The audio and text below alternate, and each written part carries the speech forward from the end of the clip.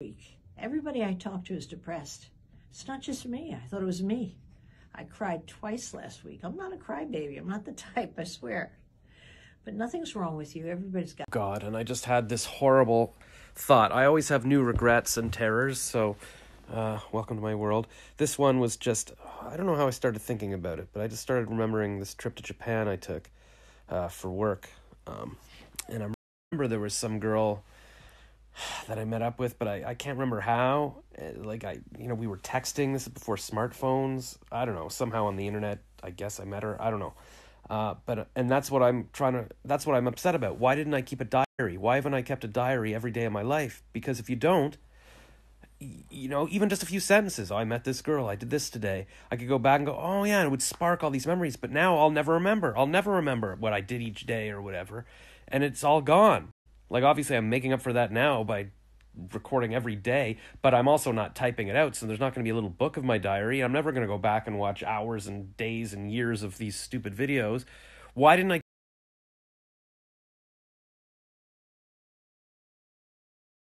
Good morning. Um, not a good start to the day so far, but I'm I'm calming down a bit. I woke up and uh, I filmed 15 minute dream summary, and it was just me, just pure terror, just wishing I'd kept a diary all my life.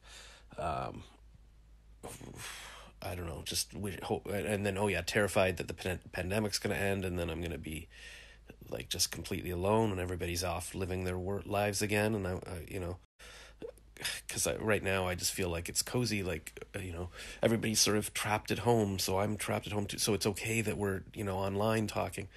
Anyways, I'll post that, and then also, I didn't uh, press download fast enough for like the day's diary, um, yesterday's story because it ends uh, like it started at like eleven a.m. and and I post I downloaded after, so I don't have the complete thing. So I started downloading like uh I don't know the the four segments at the beginning of yesterday's thing, so then I can add it, or I don't know. I was trying to and then I downloaded the last segments of yesterday. And so I think what I'm going to do is Instagram lets you go into your archives and just download a whole day. And so that's from midnight to midnight. And it's not going to be quite accurate because, like, yesterday I sort of went over at night and then um, again over last night, but it doesn't matter. Like, if I'm just posting it on YouTube later, just download the day and then people will see, okay, I was still up past midnight. And then, and then the little thing with my day banner the thing begins. It does so that's fine. I i, I don't want to have to go and start trying to paste this together in youtube. And also if you paste it together in youtube it's not quite as long. It cuts off the top like if you're doing vertical video and it's like that's going to look like crap. So yeah okay so i've got my solution for it. That's fine. So i've, I've i can calm down about that. Uh maybe i'll go for a jog now. I won't go into all of this again because i recorded it in my morning summary so you can watch that when i post it but it, the gist is that I'm afraid to go for a run in this beautiful weather because uh, I'll see everybody skating on the canal and I'll it'll just make me sad to feel like oh my god you know how many winters do I have left and I don't have a family to skate with and that's all depressing. Uh, but hopefully I'll see Giannis, my boss, this afternoon. Maybe we'll you know meet up and talk about work and stuff. And I've got so much homework to do, and oh, I've got to send some more names for that company. I've got to do a voice gig, so there's stuff to do. I can't sit here just complaining oh my god i just wish i had a friend to wake up to or something. Like i guess if you wake up to a wife and kids it's like that's your world. And i saw that. I saw a little clip of uh, um, kevin hart saying that to joe rogan. He was saying i've got this bubble around me. I've got my daughter loves me. She says i'm her best friend. So i've got that. Doesn't matter what happens in the outside world. That's my bubble. I don't have a bubble. I don't have a bubble. I need a bubble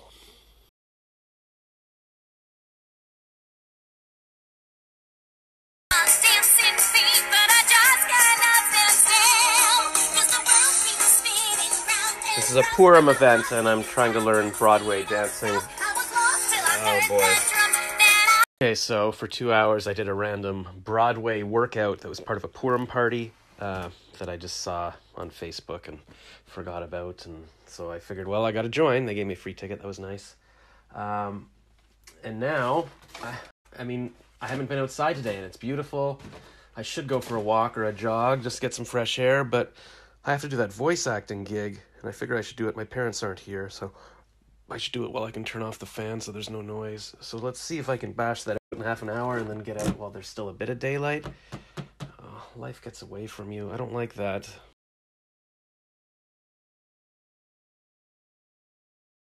Okay, I recorded the Nike voiceover in about half an hour. Um, and then the hot water started going on after my parents came home, but I don't think the noise affected it too much. And then I was, oh, I gotta charge my phone to go out, but then Kathleen called, so I talked to her on the phone for a bit. And now my parents, my dad just texted that, oh, we're having some crudité upstairs, so I guess I should go eat. I still haven't gone for a walk. There's like not much sunlight. Uh, it's not a good idea to not go out. I gotta start doing, you know, have a schedule where I get up every morning and then go for a run first thing in the morning and then it's done. Hey, that that's a song. I need to get a guitar so I can play that. Okay, crap. Now what do I do? Um, what happened was I had my jacket on. I'm like, I'm gonna go for a walk, and my dad texts that we're having some crudité upstairs. So I went upstairs, and I sat down. I ate with them, and my mom was like, "Oh, such an honor to have you join us." So it was nice. I guess I haven't eaten with them for a few days, and then I was like, "All right, now I'm ready to go for my walk." But then I saw in my email or something that there was no. What happened? No, I talked to Kathleen before, right? Um, and then because uh, she called to see how I was doing. I was like, I was about to go for a walk. I should have talked to her on the phone while I was walking. Anyways, and then I saw there's speed dating at 7:30. It's like Jewish North American speed dating, and I missed a Toronto one on Friday. I'm like, maybe I'll meet the love of my life. So I'm like, all right, I bought a ticket at that. So that went from like 7:30 to 8:30, and then I was like, oh right, I got to watch the ACTRA Awards because that's the actors. Um, Canadian Actors Union award show that I was at in person last year, and I loved it every year. In fact, I'm not married and I don't have a kid now because of it. I'll tell you why. Something like, I don't know, seven years ago or something. I think my friend Christine, maybe it was her, she said she knew a woman who worked for like the UN, who was in Toronto or visiting Toronto, and uh, and we should meet up. And I remember we went for dinner. I, I seem to remember walking around Chinatown with her, and we really connected. Like there was chemistry. We loved talking. It was awesome. And she said, uh, and she went back to Ottawa and she's like, "Hey, next weekend, like, come up and uh, I'll book a spa day for us, and we'll go to the spa and everything." And I was like, "Oh my god, this is perfect! A Jewish, a beautiful Jewish girl wants to spend time with me. We'll go to a spa." but that weekend, it was the ACTRA Awards, and I'm like, I always look forward to this. It's like I feel so cool as an actor at this thing, and I get to network and meet with all my friends. And I'm like, I can't do it. I got to go to ACTRA next weekend. She's like, Oh, and that was it. I don't. I think it just faded away. I don't think she wanted to do something the following weekend. I think she just felt like, oh, I wasn't interested or whatever.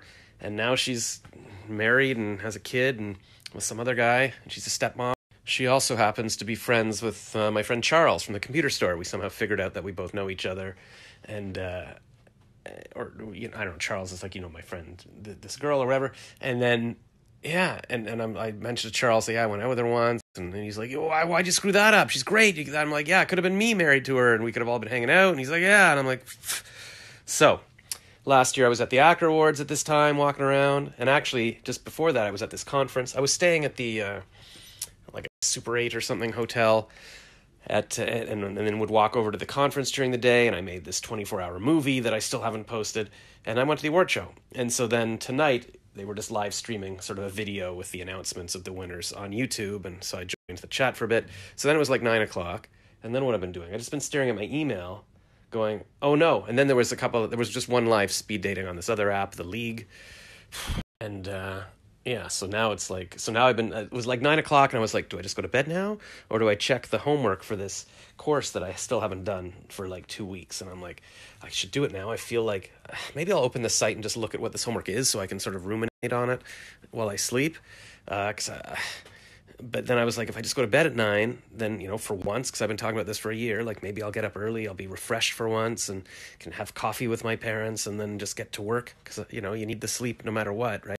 Because I don't want to get up in the morning anymore, sort of wake up at seven and go, oh, I'm in a panic, and then try to sleep for two more hours. Like, it's just, I can't, I don't want to wake up in a panic. I, I when I lie in bed and, and panic, I just want to be able to, oh, I, I got up enough sleep, I got enough sleep, and I just get up and I start, go for a jog or something. I have to get out of my head. I can't live in that terror place anymore. Um, so yeah, so I guess I should have gone to bed half an hour ago, and now I'm like, do I open that site or do I just get into bed right now and just get up at six in the morning and do it? I don't know. What do I do?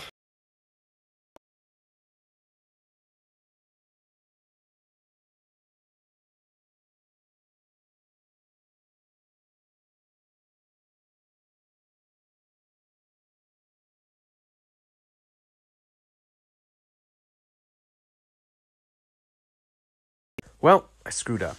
Didn't go to bed at nine when that YouTube thing ended. I guess we've already talked about this. So here's what happened. I'm like, do I go to bed at nine? No, I didn't. Do I go to bed at ten?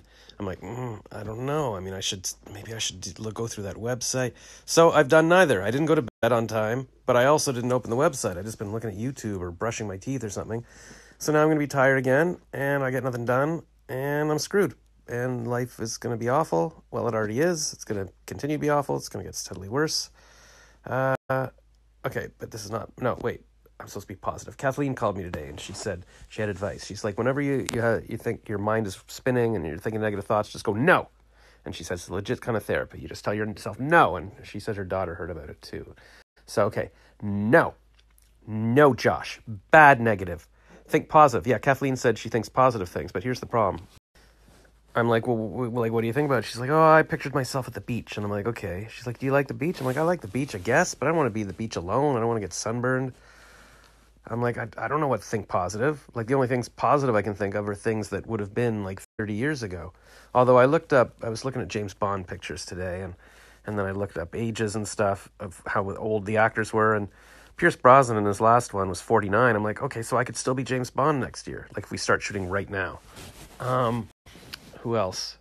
I don't know. I mean, um, Roger Moore was James Bond from age 45 to 57. So, like, if I had started three years ago, but it didn't occur to me, why didn't three years ago I become James Bond? There's probably some other reasons that I'm, I'm not James Bond, other than just my age.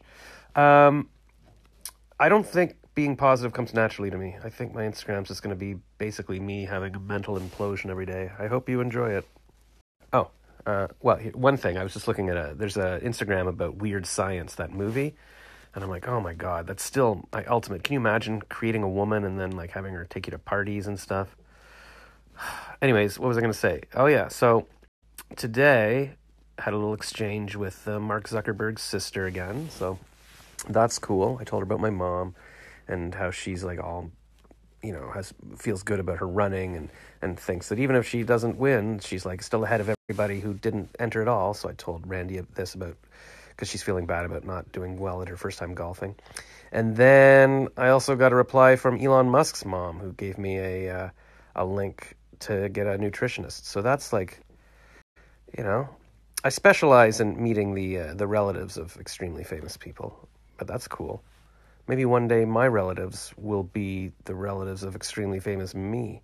What am I still doing up? Oh, I just remembered something I was doing. I was scrolling through that the course, the Made to Do This course Facebook, and I just started answering like a bunch of questions that women were asking about like their avatars and what should they do and stuff. And I thought, okay, I'll be contributing. And then one woman said something about she's feeling lost or something. I can't remember what it was, but I commented uh, and she's like, I remember you. I was when I was working at Sam Ash. I'm like, Sam Ash. And I looked it up. I'm like, that's a store in LA, a music store. And I'm like, oh my God, I did meet this woman. She's like, I remember you, and you had such light, and you're such a people person, and that's why I remember you. And this was like six years ago, maybe, when I was in LA with the the New Zealand girl, and I was talking to like a rock star girl who was working downstairs. And then I went upstairs. I was looking for a microphone or something, and and I guess I talked to that woman. She's like, oh yeah, that rock star girl. She's like pretty young and and uh, very talented. And so, yeah, this random woman from a music store for like our five minute call remembers me uh, and recognized me in, in the group. So that's cool. I make an impact. Do you remember me?